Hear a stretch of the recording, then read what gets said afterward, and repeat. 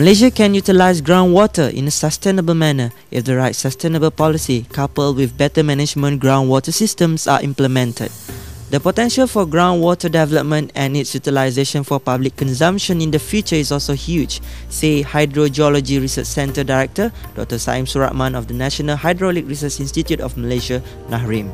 He said that currently groundwater made up only 2% of total public water usage, while the rest is from surface water. Probably we have to, uh, you know, uh, study further the, the potential of utilizing.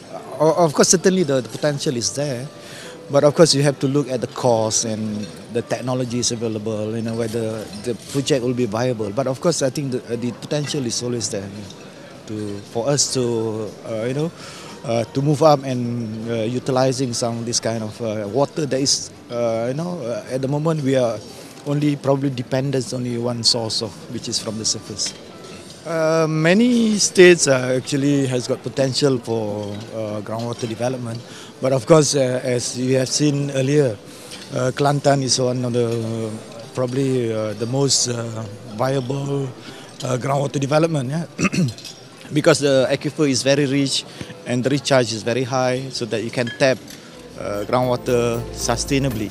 He said Selangor is one of the states that would need additional sources of water due to rising industrial and population demand. He also added that Malaysia would adopt groundwater as one of the sources of public water supply at a ratio of between 10 to 20% by 2020. But of course, uh, I would say Selangor probably requires uh, supplementary source because because of the demand from you know from industry, demand from the population growth. Yeah? So the demand will be higher. Uh, so I would say sooner or later you have to op- or you have to look for other supplementary sources. Just you know.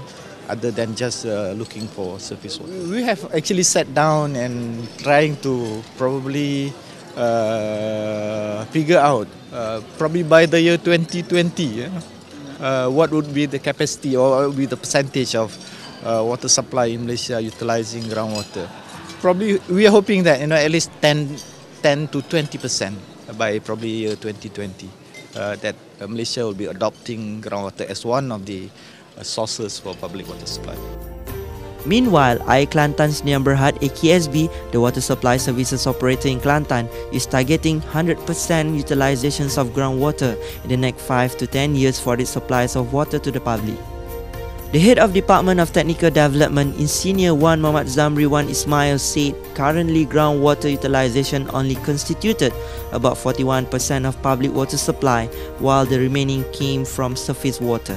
Uh, kita operator Kelantan kita dah uh, mewarisi um, penggunaan air bawah tanah ni sejak tahun 1935 itu dah 75 tahun jadi um, uh, apa ni secara aktifnya kita dah um, um, apa ni menggunakan uh, air tanah ni sebanyak 41% sekarang ni daripada keseluruhan penggunaan tapi dari segi strategic planning kita kita akan um, mengadakan transformasi penggunaan air tanah ni uh, sehingga ke mungkin 100% di masa depan.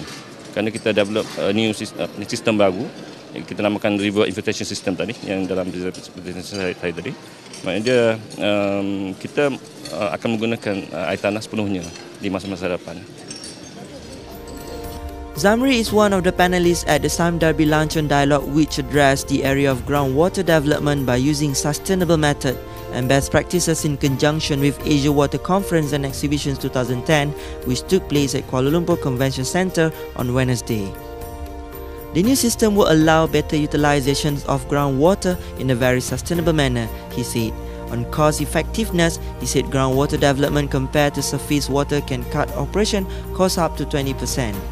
At the same event, Datuk Teo Yen Hua of Suruhanjaya Perkhidmatan Air Negara, SPAN, addressed the need for a proper act to regulate the water industry players, which is the Water Industry Services Act.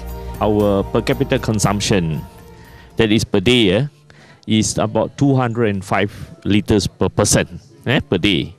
And that is uh, quite high uh, compared with many other countries. You know, in I think uh, uh, we, probably only need about 165. That is a, a, a world standard. Yeah?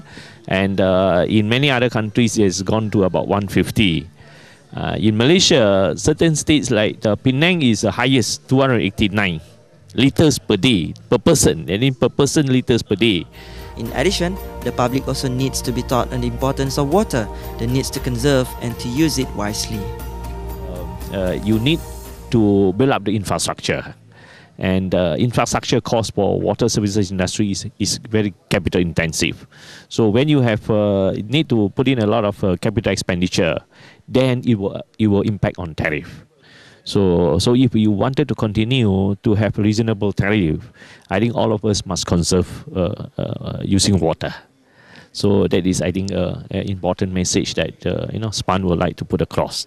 Adopt Okay. some rainwater harvesting, you know, uh, where you can use it for non-portable purposes. Eh?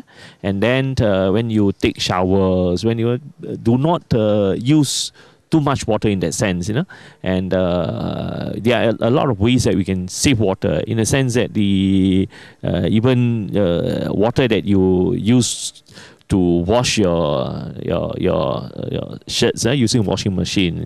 Some of the water actually can be reused for, for toilet purposes. So uh, we have uh, you know in our case we put it as a condition for all the licensee you know service provider for them to to to have some program to promote water conservation and uh, I think the uh, the other one is is through the tariff structure. Uh, we would like to see that uh, those who use excessively uh, will have to pay uh, much higher tariff uh, because uh, I think that uh, they do not need that much of water.